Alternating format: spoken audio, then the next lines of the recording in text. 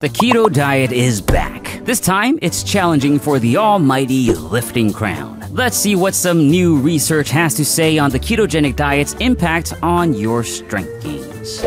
There's no doubt that one of the most popular non traditional diets out there is the ketogenic diet. And in terms of the actual science, the keto diet showed that it can be quite useful. It's even great for developing your whole personality around based on outcomes in certain strange corners of the internet. The only thing, though, is that you probably shouldn't expect anything all that special with the keto diet. The science shows that yes, it can be good, but only as good as any other diet. Well, that's at least for body composition goals goals like weight loss, fat loss, and muscle growth. But what about the goal we're here for in the first place? When it comes to things like crushing three plates on the bench, four plates on the squats, or eight plates in Overcooked 2, can the ketogenic diet provide an advantage over higher carb diets? To find out, we're going to take a look at a new study, a systematic review published this year. With strength gains in mind, the researchers here focused on analyzing keto studies that specifically measure changes in one rep max performance for, of course, the two most bro approved exercises of all time the bench press and squat. The comparison was between the ketogenic diet and a more traditional high carb diet. They identified five studies totaling 119 participants for the bench press and five studies totaling 106 participants for the squat. The participants were a mixture of both trained men and women the trial interventions all lasted between 8 and 12 weeks. And finally, my favorite caveat the diets were all protein matched. So, what were the results? For the bench press 1 rep max, both diets led to better results with no statistically significant differences between the two. For the squat 1 rep max, both diets again led to better results with again no statistically significant differences between the two. In other words, just like what we saw with the body composition goals, this study showed that the keto diet performed no better nor worse than a more traditional diet for the bench and squat 1 rep maxes. You know what? This is actually a bit unexpected. Sure, results like this make sense for body composition goals since consuming fewer carbs isn't as important for body composition as your calorie and protein intakes. But for performance goals, carb intake usually does factor in quite heavily. Arguably, the most important energy source for an activity like lifting weights is glucose, which we get almost exclusively from consuming carbs. Historically, the ketogenic diet, a very low carb diet, tends to lead to worse exercise performance, and the lack of carbs is believed to be the main reason why. But if that is the case, then why did this new study show the keto diet performing just fine? Well, it's probably because the study looked at specifically one rep maxes, whereas other studies measured outcomes utilizing more than just one rep. Thing is, the role glucose plays in a single all out effort activity like a one rep max is really not all that much. For about the first 10 seconds of any intense physical activity, our bodies employ a super fast energy system known as the phosphagen system. This system is not fueled by glucose, but by creatine phosphates in the muscle cells. And yes, if you are wondering, the reason creatine supplementation helps you lift heavier weights is because it directly supports this system. So for one rep maxes, we don't need to produce a lot of energy from carbs just yet. So being on a keto diet is not all that bad. That said, I do want to point out one more thing. Although not statistically significantly different, the study did show that the size of the effect for strength did trend in favor of the non-ketogenic diets. Thing is, although a 1 rep max might not rely much on carbs for energy, the training itself throughout the 8 to 12 weeks to improve 1 rep max definitely does. So that means the non-keto diet participants might have experienced better conditions during their training. The researchers did note that training training volume was not all that different between the two groups, but did note that in some cases, participants on the keto diet felt that their training required more effort than participants on the non keto diet. Whatever the case, we should still respect the methods of science and the use of statistical significance, p values, and all that jazz, so we shouldn't draw strong conclusions from this trend alone.